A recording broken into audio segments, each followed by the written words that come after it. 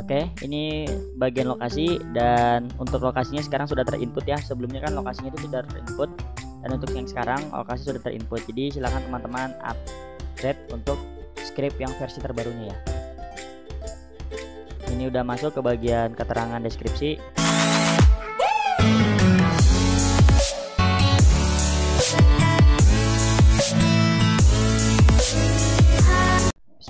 Assalamualaikum warahmatullahi wabarakatuh. Video ini akan ngebahas tentang updatean dari Facebook.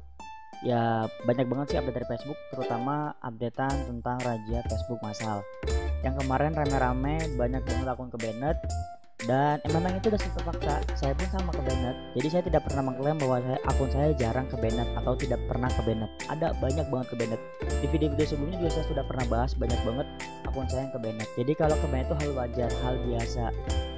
Dan teman-teman tuh harus hati-hati bahwa ketika ada seseorang yang mengklaim bahwa dia itu anti Bennett itu kudu diperhatikan. Kenapa? Karena ketentuan Facebook itu ketika kita mau jualan di Facebook Marketplace atau di Facebook personal dan kita memiliki banyak akun ya itu tuh biasanya kita akan terdetek karena pola pekerjaannya gitu-gitu doang gitu. Dan di video kali ini saya akan ngebedah tentang yang namanya update terbaru dari Facebook yang bikin skripnya jadi nggak jalan terutama bagian lokasi. Nah ini ada catatan dari salah satu member. Pagi mas apakah Facebook lagi update? Untuk lokasi sering nggak ke input. Nah begini terus biasanya nggak ada masalah. Jadi ini tuh kalau nggak salah kemarin-kemarin gitu ya. Lalu langsung aja kami update untuk terbarunya. Dan buat teman-teman yang punya masalah bagian lokasinya langsung aja kita tonton untuk updatean hari ini. A few moments later. Oke, di sini saya sudah masuk ke member area. Silakan teman-teman langsung aja masuk ke member areanya di member.wantobu.com member area login atau WP admin. Lalu silakan masukkan aja untuk user sama passwordnya. Di sini saya masukkan password sama usernya. Saya masukkan passwordnya. Kalau udah masuk ke bagian tampilan seperti ini, silakan langsung aja pilih bagian akses. Lalu kita pilih yang Facebook, akses tool Facebook Marketplace-nya. Di sini silakan teman-teman pilih yang download file script ya karena kita akan mengupdate untuk script terbarunya.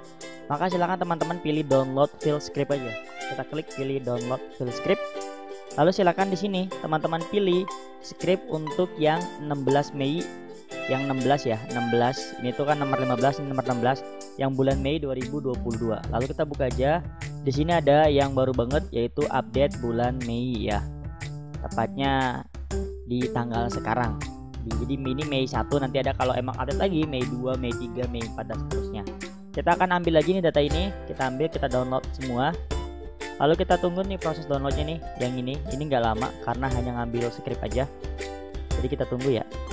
Baik di sini kita udah download langsung aja kita tinggal klik save dan kita akan buka untuk akses foldernya.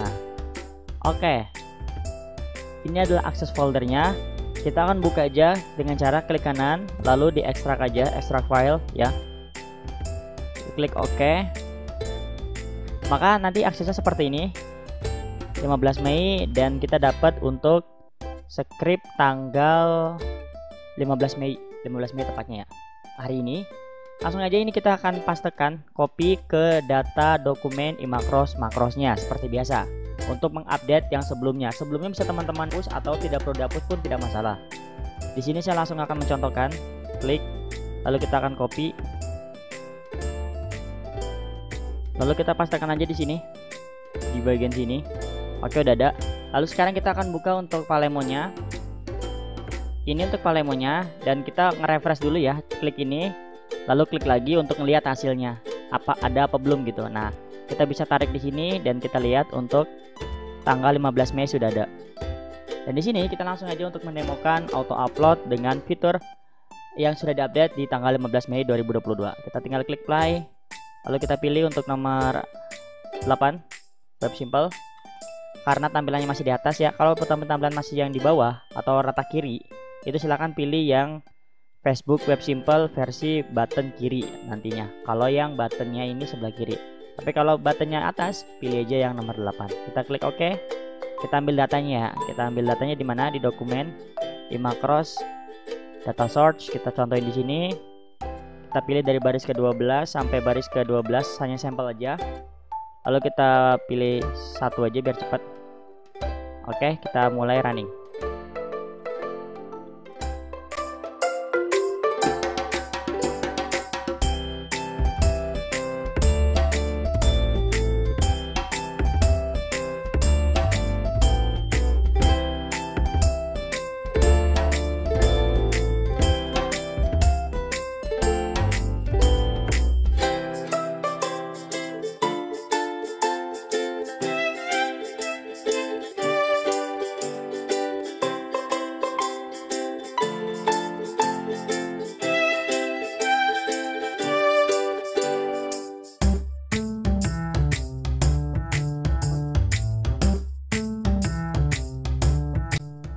Ini bagian lokasi dan untuk lokasinya sekarang sudah terinput ya. Sebelumnya kan lokasinya itu tidak terinput dan untuk yang sekarang lokasi sudah terinput. Jadi silahkan teman-teman update untuk script yang versi terbarunya ya.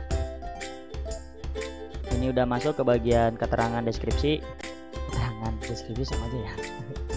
Keterangan deskripsi ini label dan dia akan langsung ngisi SKU setelah ngisi SKU baru dia klik selanjutnya Nah ini untuk script yang paling barunya teman-teman.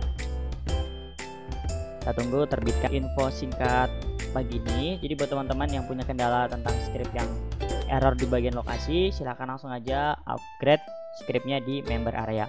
Untuk pandainya silahkan tonton video ini. Jika masih bingung silahkan diulang. Boleh. Terima kasih kita sambung di next tutorial. Sampai jumpa dadah. Semoga bermanfaat. Assalamualaikum